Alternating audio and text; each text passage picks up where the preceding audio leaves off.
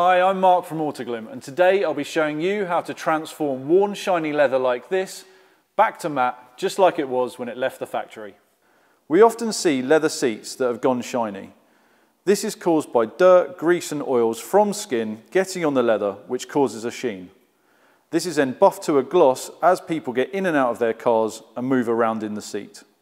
If you remove the dirt from the seat, no more shiny leather. It really is that simple. The first step is vacuum the seat. Make sure you get in the stitching to get all the loose dirt out. Next, use leather cleaner to remove the dirt, oil and grease that is causing the shine. Spray the cleaner onto the seat a section at a time and work it in with a firm sponge, a soft brush or a cloth to lift the dirt.